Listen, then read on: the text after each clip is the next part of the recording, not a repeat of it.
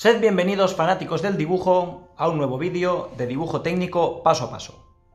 En el ejercicio de hoy vamos a dibujar un cuadrado inscrito en una circunferencia. Tenemos la circunferencia y pasamos a dibujarlo. Nuestro primer paso será trazar un diámetro cualquiera, es decir, una línea que pase por el centro. Esa línea cortará en los puntos A y B a la circunferencia. Nuestro segundo paso es trazar la mediatriz de A y de B.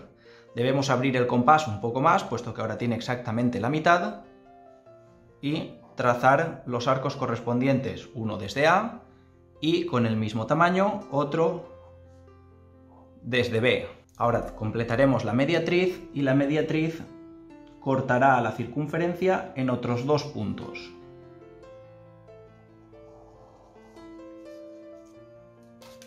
Punto C y D. Acabamos de dividir la circunferencia en cuatro partes, en cuatro sectores. Si conectamos los puntos A con C, con B, con D y con A, tendremos un cuadrado.